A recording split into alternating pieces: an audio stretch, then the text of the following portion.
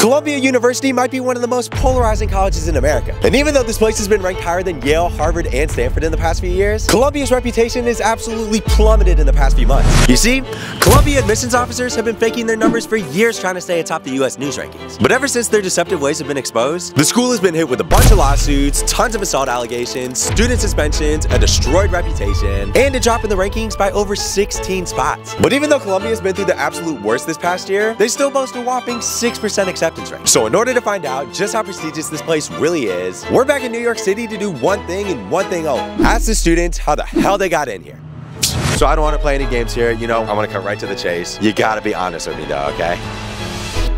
What'd you eat for breakfast this morning? I'm gonna be honest here. I didn't have time to eat breakfast this morning. What? I did not eat breakfast this morning. Haven't had breakfast yet. Toothpaste. Toothpaste. The most balanced meal. I was gonna get a coffee and a croissant and go study in Butler. Dang, okay, that sounds like a plan. cupcakes, boiled eggs, and a Chobani, a Chobani yogurt. So Chobani, if you want to sponsor me, hit the out. DMs, hit the DM. All right, you feel warmed up now? Ready to get into the good stuff? Yeah, I'm ready. All right, sweet, let's do it. So first question, what is your name? Where are you from? And how many years have you been at Columbia? So my name is Andy. Andrea. Cheery. Grace. Julian. Joe. Holden Ashton. I'm from upstate New York. I'm from the Bronx. I'm from New Jersey. New Jersey. Portland, Oregon. Stafford, Virginia. Berkeley, California. Chicago, Illinois. Shenzhen, China. From Colombia, studying at Columbia. Perrysburg, Ohio, which is the northwestern corner of the state, and I'm a first year at Columbia College. This is my second year. First year. First year. Third year. I'm a freshman. I'm a sophomore. I'm a junior. I graduated this past May, actually. All right, congratulations. So your name's Ashton and you're a junior. Yes. That is literally my name and my age too. What? You're, you're Ashton? Yes, bro.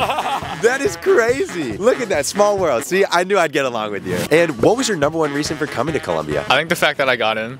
Um, To be honest, I thought it would sound great to say I'm from Columbia and I went to Columbia. Honestly, it's probably the location of the campus. I'm a city boy, basically, so I needed to be in the city. I wanted to be in the city. I just like the city. It was also close to home. New York City, you're in the best city in the world. It's in New York, so there's a lot of opportunities here. I mean, being in the bustling city has been always a dream of mine. New York City is such a great place to live. The location's super great. We're both swimmers on the swim team, so that was obviously a big reason. I actually play on the football team here. Ivy League school in New York City. Doesn't get much better than that. My parents wanted me to go to an Ivy League, so here I am, yay!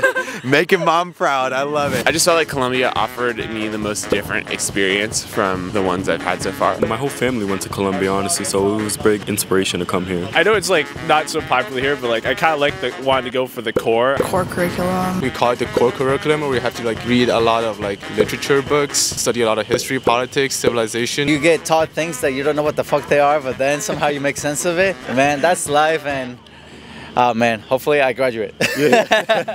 And building off of that, on a scale of 1 to 10, how happy are you with that decision? I would actually give it like a 8.5 if I'm gonna be honest. An eight and a half. I would say like an eight or nine. I'm pretty happy with it. I'm pretty stoked. Yeah, it's been a good ride. Probably eight. I'd say eight. I think an eight, I don't regret the decision. But when I was in school, my answer would have been different. What Yeah. about when you were in school? What would you say? Probably a four. I would say at this point of the year it's five to six ish, but if you asked me this question a month earlier, maybe a seven to eight. Mostly because like in the winter the, the sun sets really early and then like it also coincides with midterm season so it could get really depressing around campus. you come to Columbia for academic rigor, and you're gonna get academic rigor. Lots of late nights in the library.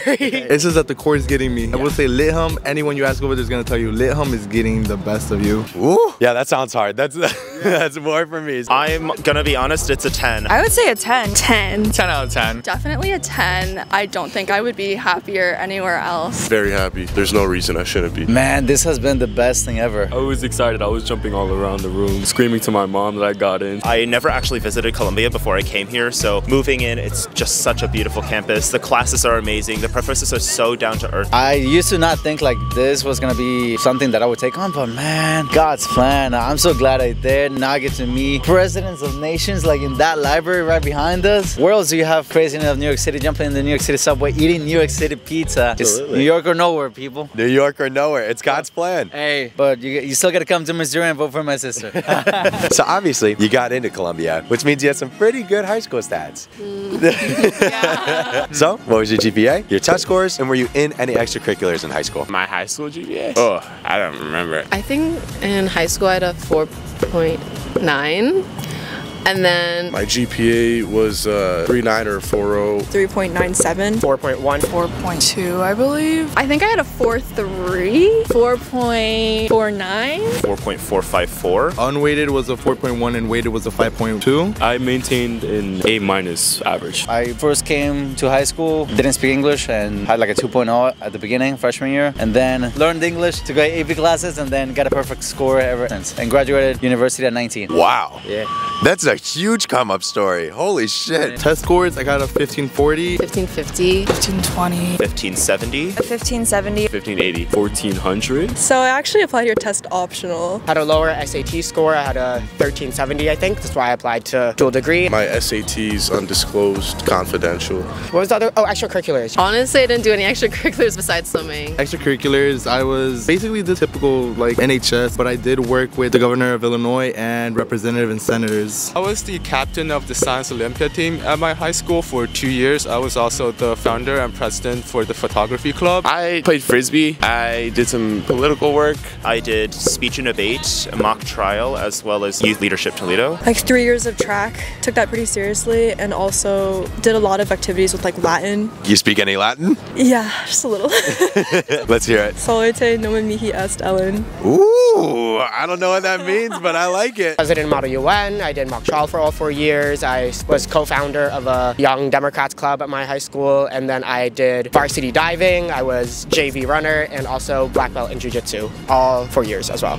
Holy shit. Damn, you really check all the boxes Yeah, here. so you know, don't worry too much about test scores. Obviously, it's important, but you know, there's other factors. It's a holistic application for a reason. Yeah, absolutely. And I have one final question for you guys here. What is the craziest story you've heard while you've been at Columbia? Craziest story. I have to think about this one. I don't know if this is appropriate to say. Um, Dude, I don't know. I mean, The craziest story. Uh, well, the goddamn TA strike. Yeah, I had a friend that was woofing in Hawaii and he was like got stuck in some cult on a banana farm. On the library, there's some guy that comes here every day and tries to flip a water bottle with his feet into a trash can, I think. basically during like final season, the band goes into like the library or something and interrupts students when they're studying. I, I've heard, you know, people like to be in the stacks for reasons other than studying. Okay. So the TA strike was happening, and then so we didn't have any discussion sections and only lectures. My friend was in Lee Bollinger's class on the First Amendment, and then a fuck ton of students busted in and started shouting "fuck Lee Bollinger." To which he said, he sat there and he went, "That's why the First Amendment is hard, kids." There's a guy who flips bottles into trash cans. Does he happen to do it with his feet? Yes. Yeah, we've heard about him today. Yeah, he seems like a pretty cool guy. There's also like, you know, a BDSM club here. No, there is not. um, yeah, yeah. Wow.